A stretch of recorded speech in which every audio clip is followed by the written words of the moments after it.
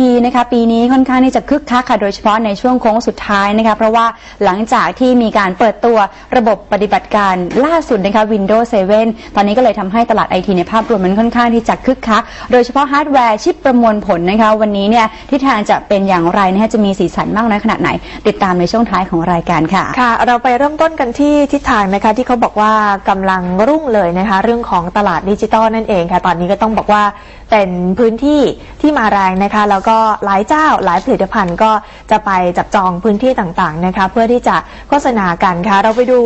สิ่งที่เขาไปสำรวจตรวจสอบมานะคะมีข้อมูลจากบริษัทที่ชื่อว่าโทมัสไอเดียค่ะ คุณอุไรพรชนลสิทธิ์ รุ่งสกุลนะคะเป็นประธานกรรมการบริหารบริษัทโทมัสไอเดียเปิดเผยออกมานะคะว่าสำหรับแนวโน้มค่ะของเจ้าของสินค้าหรือบริการเนี่ยนะคะโดยเฉพาะกลุ่มอุปโภคบริโภค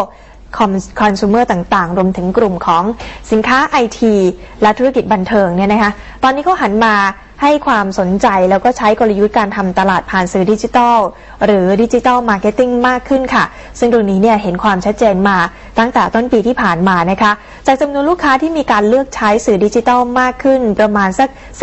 10-20%เมื่อเทียบกับช่วงเดียวกันของปีก่อน เขาบอกว่ามีสัดส่วนนะคะการใช้ในส่วนของสื่อดิจิทัลนั้น อยู่ที่ประมาณ 2%หรือประมาณ 1,800 ล้านบาท จากมูลค่ารวมของตลาดสื่อที่มีอยู่ประมาณปีละ 90,000 ล้านบาทด้วยกันค่ะ แนวโน้มนะคะที่ว่านี้เนี่ยเป็นไปในทิศทางเดียวกับตลาดสื่อในต่างประเทศนะคะ ที่ตรวจสอบแล้วก็พบว่าเจ้าของสื่อส่วนใหญ่หันไปใช้สื่อโฆษณาดิจิทัลมากขึ้น โดยเฉพาะ บริษัท Search Engine Google ค่ะ ตรงนี้เนี่ยคิดเป็นสัดส่วน